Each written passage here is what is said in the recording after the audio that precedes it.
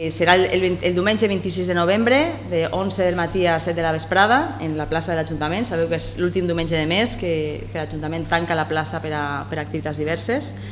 I bueno, pues tornem a, a,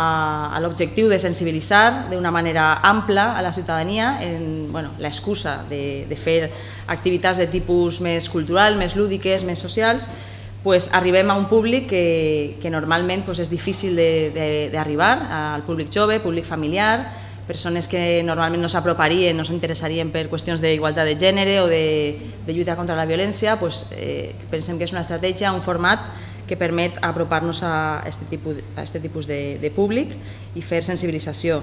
Enguany hem, hem redimensionat molt més eh, este Igualment Fest i bueno, hem apostat, hem fet una, una oferta molt més ampla d'activitats i, de, i de propostes i també enguany, com a novetat, s'incorpora l'IBAG, l'Institut Valencià de la Joventut, per això contem avui en la roda de premsa amb el secretari autonòmic d'Igualtat i Polítiques Inclusives, Albert Ibáñez,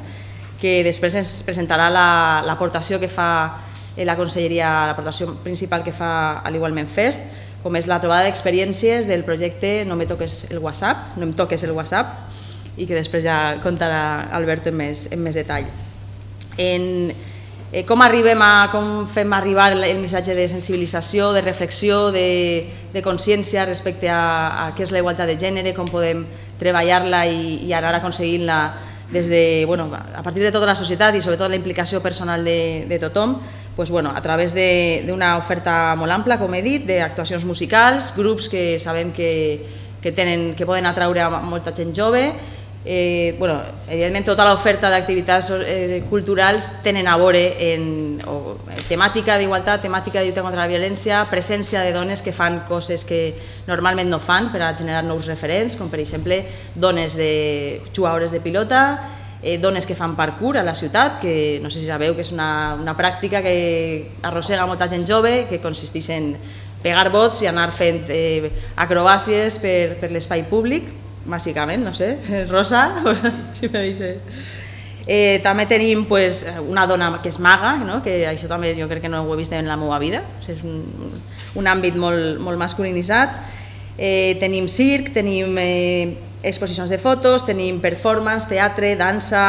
eh, exhibicions de tango, de l'indie hop, tallers, evidentment, per a públic més infantil, per a públic més jove, més adult,